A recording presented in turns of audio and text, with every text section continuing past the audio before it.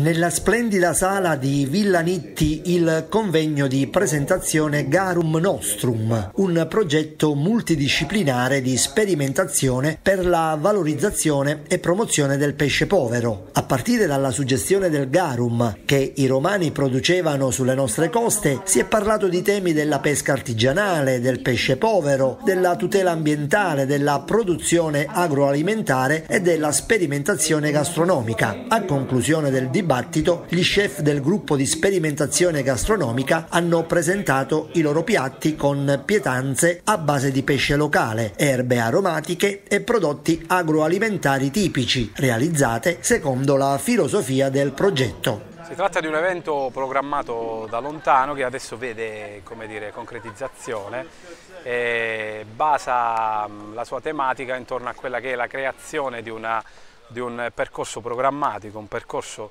condiviso insieme ad altri attori del tessuto economico-sociale, quindi organizzato sì dall'Associazione di Coordinamento Imprese di Pesca, -huh. quindi noi pescatori, che però cerchiamo di, appunto, di tirare dentro le nostre, le nostre, visioni e soprattutto dentro i nostri obiettivi quello che è il tessuto economico-sociale, quindi i ristoratori e soprattutto gli enti scientifici che possono dare supporto in maniera chiara, in maniera produttiva ad un tavolo di costruzione di microfiliere, di filiere della pesca col fine fine ultimo di dare valore a quello che è il nostro pescato locale e che da troppo tempo viene come dite, lasciato in un angolo e non valorizzato. Certo. Parliamo di garum nostro, che cos'è il garum? Il garum è quella antica salsa di pesce che veniva prodotta con, con, con certezza, con contezza, lungo la costa di Maratea e soprattutto sull'isola di Santo Ianni, i reperti storici e tutto quello che ne deriva eh, lo testimoniano in maniera forte.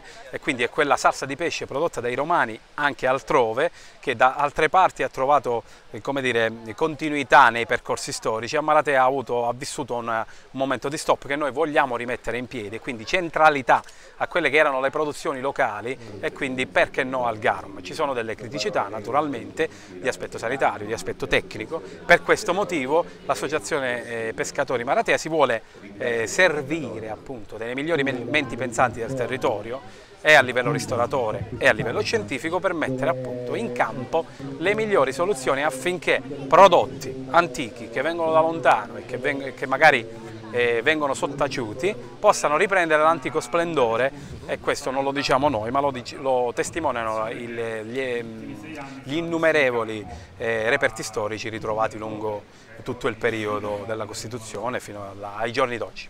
Dopo questo evento dunque è diciamo, proprio la commercializzazione dunque, di questo pescato che Perché chiameremo no? GAN. Perché no? Si parte da un'idea progettuale che è quella di dare una connotazione, quindi con un nome e cognome che, che è il Garum, con certo. un nome chiaro che è il Garum, per rivivere eh, dire, sì, storicità e culture antiche, per poi vedere cosa si può veramente fare certo. di quel prodotto ittico che è al centro della questione.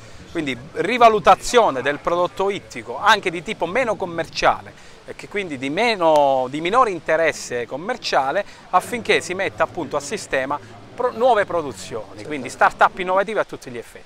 Sul Garum ci sono due riflessioni che si possono fare. Una riguarda la storia di Maratea che ci porta molto lontano. Tenete conto che il garum prodotto sull'isola di San Doianni e, e a Castrocucco eh, viene datato nel periodo tardo romano, quindi i marateoti erano i più grandi produttori di garum e nel Mediterraneo il nostro garum veniva venduto. Prova ne le, sono le ancore che sono trovate eh, vicino all'isola di San Doianni e le anfore che sono, trovate, sono state trovate dal Ministero dei Beni Culturali eh, sui fondali attorno all'isola di San Doianni.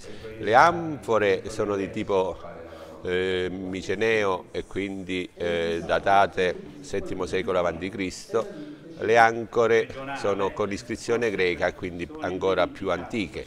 Quindi Maratea ha una storia nel Mediterraneo legata alla produzione del garum, che è una elaborazione una, del nostro prodotto ittico di, del Golfo di Policastro.